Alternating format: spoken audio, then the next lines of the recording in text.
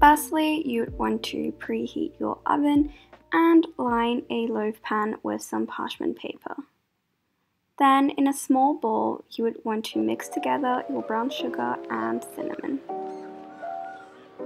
To create vegan buttermilk, you would want to add milk and some vinegar in a cup and mix that together and let it sit for around 5 minutes to curdle.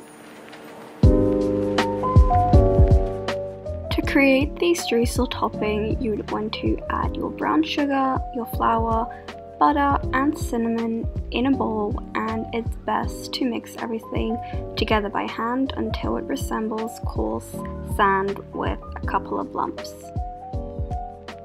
Then in a medium sized bowl you would want to add your flour, your sugar, your baking powder, baking soda and salt and give that a whisk so that everything is combined. Then in a larger bowl, you would want to add your oil, your vanilla extract, and your vegan buttermilk mixture and mix everything together until it's combined.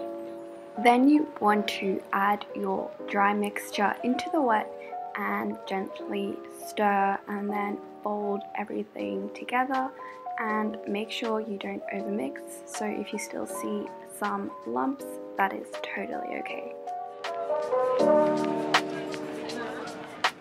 Once it's all combined, you would want to add half of the batter into the loaf pan and slightly spread it evenly out.